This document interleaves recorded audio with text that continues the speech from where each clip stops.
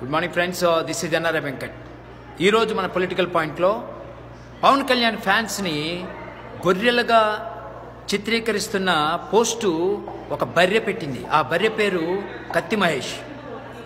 ఎరా కత్తి మహేష్ నీకు పవన్ కళ్యాణ్ ఫ్యాన్స్ గొర్రెల్లా కనిపిస్తున్నారట్రా? ప్రవాస గర్జనలో ఆయన వెనకున్న వేల మందిని చూసావా నువ్వు?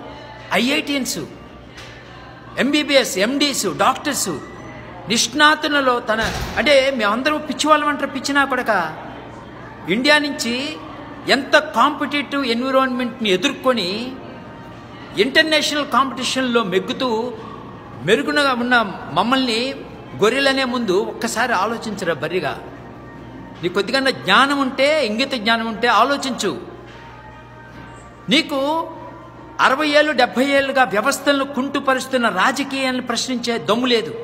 విద్యా వ్యవస్థను చూడు వైద్య వ్యవస్థను చూడు ఆర్థిక వ్యవస్థను చూడు. ఒక వర్గం వివక్షగా కొన్ని వర్గాలు వర్గాలు ఎదుగుతున్నాయి. నువ్వు ఎస్సీ ఎస్టీలని చెప్పుకుంటావు. నీకు ఎస్సీ ఎస్టీలు ఊరి చివరిలో పేదరికంలో మొగ్గుతున్న ఎస్సీ ఎస్టీల గురించి మీకు అర్థం లేదంట్రా? భార్య వెదవా కొద్దిగా ఆలోచించండ్రా. ఎందుకు ఎస్సీ ఎస్టీలు ఇంకా అధోగతిలోనే ఉన్నాయి ఎందుకు అభివృద్ధి చెందట్లేదు? కొన్ని కొన్ని వర్గాలు ఎందుకు వెళ్తున్నాయి? ఇటువంటి రాజకీయాన్ని మనం ప్రక్షాళన చెయ్యాలి అని ఒక మహా వ్యక్తి ఒక మహానుభావుడు దిగితే వాయిని పట్టుకొని నువ్వు ప్యాకేజ్ స్టార్ అంటావా? నువ్వురా ప్యాకేజ్ స్టార్వి ఆ వైఎస్ఆర్సీపీకి అమ్ముడు పోయి ఒక రాజకీయ వ్యవస్థని కూలంకషంగా కడిగేద్దాము. ఒక కొత్త రాజకీయం విలువలతో కూడిన రాజకీయం చేయటానికి ఒక పూనుకున్న ఒక మహా వ్యక్తిని పట్టుకొని నువ్వు ఇలా మాట్లాడటం. అంటే విష్ణునాగిరెడ్డి వెళ్ళినా దర్జాగా వెళ్ళాడు. నేను నిజంగా చాలా గర్వపడుతున్న విష్ణునాగిరెడ్డి గురించి. ఆయన ఒక్క మాట కూడా పవన్ స్టార్ గురించి కానీ వాళ్ళ ఫ్యామిలీ గురించి కానీ ఒక్క మాట అనలా ఇప్పటికి కూడా కొంతమంది నాయకులు ఎస్ నాకు కోపం వచ్చింది. కానీ అది నా అది నార్మల్గా అన్నింటిలో జరిగేది అన్ని పార్టీల్లో ఉంటుంది ఈ విభేదాలు.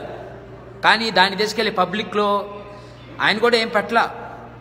ఐ రియల్లీ రెస్పెక్ట్ విష్ణునాగిరెడ్డి గారు. చాలా చక్కగా హుందాగా వెళ్ళారు. కాకపోతే నాయకుల మీద చెప్పారు అది that's okay that is fine may అది ఇంటర్నల్ మ్యాటర్ దానికి సంబంధమే లేదు సమాజానికి. నువ్వు అనుకున్నట్టు పవన్ కళ్యాణ్ ఫ్యాన్స్ నువ్వు అనుకున్నంత మూర్ఖులు కాదురా. నీ నీలాంటి మూర్ఖులు మాత్రం కాదు. నేను చెప్తున్నాను. నీలాగా మూర్ఖ శిఖామణి లాగా పవన్ కళ్యాణ్లో ఉన్న ఒక నెగిటివ్ యాంగిల్ని పట్టుకొని ఊగులాడుతూ ఉంటావు. ఆయన ఆ విశ్లేషించి నేను ముప్పై పేజీలు రాశాను. వెళ్ళి పుస్తకం చదువుకో. కొనుక్కొని మార్కెట్లో ఉంది. జనసేనకే ఎందుకు ఓటేయాలని. నీకు తెలిసి వచ్చింది పవన్ కళ్యాణ్ గారి యొక్క వ్యక్తిగత లక్షణాలు పద్దెనిమిది నాయకత్వ లక్షణాలు పది ఉన్నతంగా రాశా. తెలుసుకో. కావాలంటే నువ్వు నాతోటి నా నంబర్ ఇస్తున్నాను. Six three zero seven three zero six three eight nine. ఎప్పటికైనా ఛాలెంజ్ చూస్తున్నా కాల్ చేయి. ఏ నాయకుడిని కంపేర్ చేస్తావో పవన్ సార్ తోటి కంపేర్ చేయి.